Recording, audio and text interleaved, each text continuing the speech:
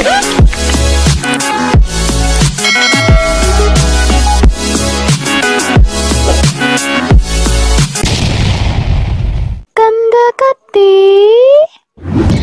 fam! Welcome back to my channel. And kung bago ka lang sa channel na to, please do subscribe to my channel. And don't forget to click the notification bell for you to be updated for my next videos. So for today's video, magkakaroon tayo ng review sa You Glow Babe product. People were asking what is my skincare routine. So ito po siya. Ayan. So, let's check kung ano nga ba ang laman nitong You Glow Babe na to. So, let's see. Wow! so, first, we have brightening soap, which can help to brighten, exfoliate, and rise up acne. Next, glow toner. It can help brighten, tighten pores, deep cleansing, and instant glowing face. Next, glass serum. It can moisture, brighten dark spot, glass, and glowing effect. Next, sunscreen protection from the sun with SPF 50. Next, hair turban, use while doing skincare. Actually, itong pinapakita ko sa inyo ay stock ko lang to. Hindi ito yung ginamit ko kasi ubus-ubus na yung ginamit ko. So, tumagal siya ng dalawang buwan. Pero syempre, sabihin ko muna yung um, step-by-step procedure na ginagawa ko kapag ginagamit ko to. So, sa first day, ang advisable daw is soap lang muna para hindi mabigla yung face kasi especially ginagamit to ng mga sensitive skin like me.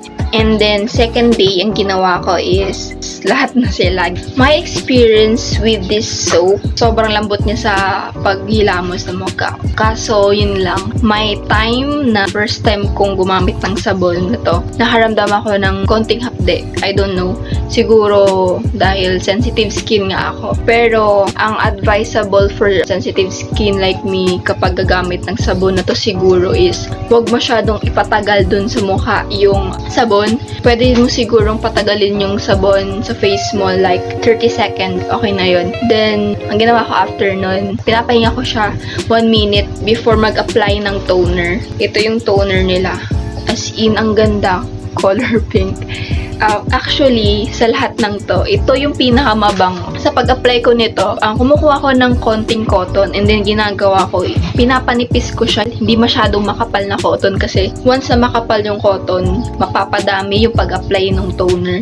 Yung pagkuskus doon sa face, hindi masyadong matigas like that. Not friendly touch, ganun. Gentle lang yung pagdampi. Alam nyo yon meron kasi mga tao na kapag nakita nila yung cotton nila walang dumi, ay walang dumi, gano'n ko kuskus ko pa para yung dumi.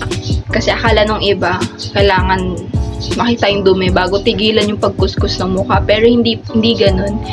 Um, kahit walang, wala ka masyado makitang dumi doon sa cotton, itigil mo na yung pagkukuskus mo. Baka kasi masobrahan, di ba? Kasi may times na siguro hindi masyado madumi yung cotton. But it's normal.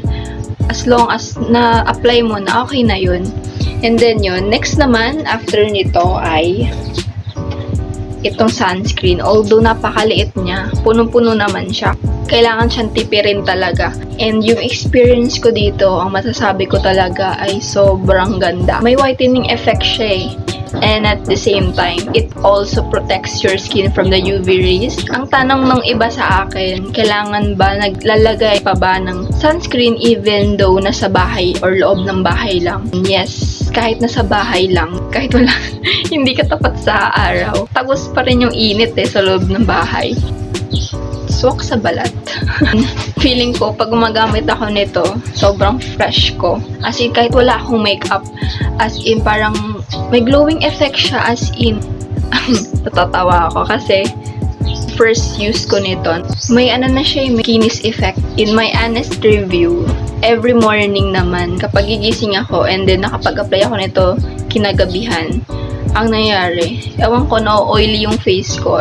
Ewan ko, siguro oily lang talaga face ko. Parang nai-irritate ako tuwing morning na parang, ah, lagkit ng feeling ko, parang ganun. So, nangyayari, ginagawa ko, naghihilamas ako agad, tapos babalik na ako sa morning routine ko ng Bake. So, yun yung benefit siguro din nun na ginaganahan ako maghilamos. So, gusto ko lang pakita sa inyo yung mga gamit ko na. Ito yung toner ko. Ganito na lang siya kaunti, oh. ba? Tapos sa serum ko, ayan, ganyan siya.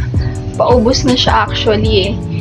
Yan, share ko lang din na may times na kahit gumagamit ka ng kahit rejuve or maintenance kit, may time talaga na, kunyari, menstruation period mo na. O, syempre, magkakaroon ka ng pimples, but it doesn't mean na hindi ito effective. Pero, sa tulong nito, yung pimple na yon madaling mawawala.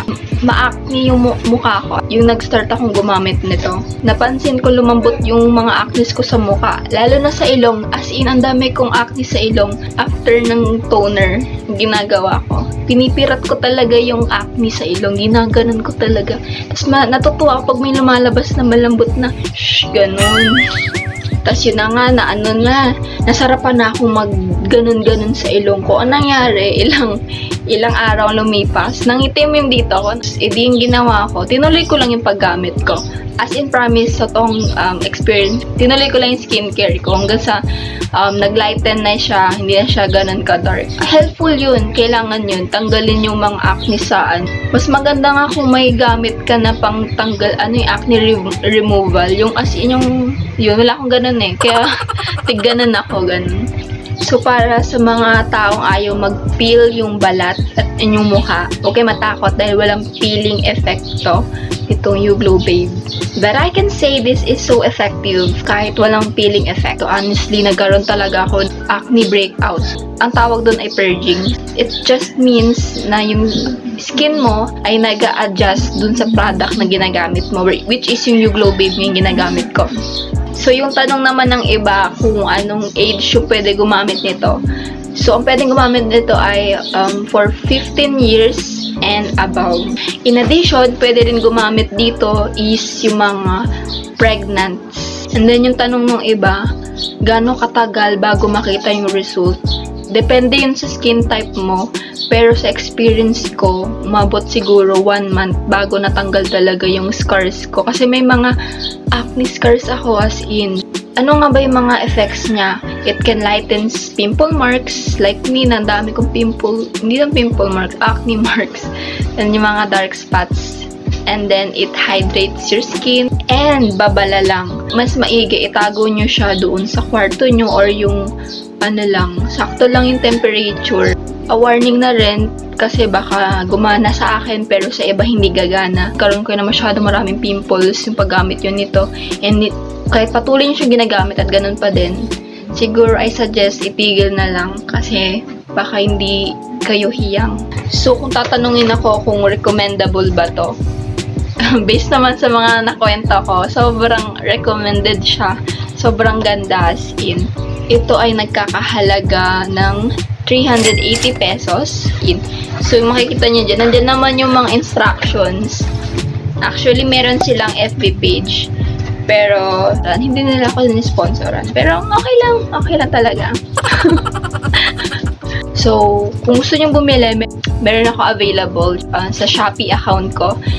And, ilalagay ko na lang siya sa description box. So, that's it for today's video. I hope na may natutunan kayo, na-inspire kayong gumamit. to and nakatulong to sa mga nagtatanong about you Glow Babe product. Thank you for watching and don't forget to subscribe and click the notification bell for you to be updated for my next videos. Thank you.